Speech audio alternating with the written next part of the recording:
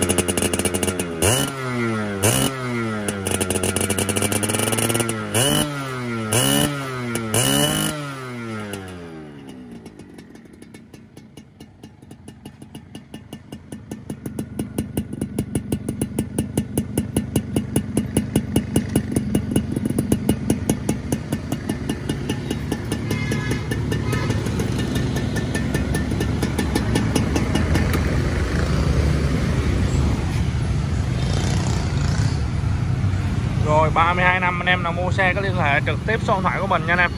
0977896908 Rồi, chào anh em nha. Xe dọn full mới nha anh em. Đó, xe ráp full mới.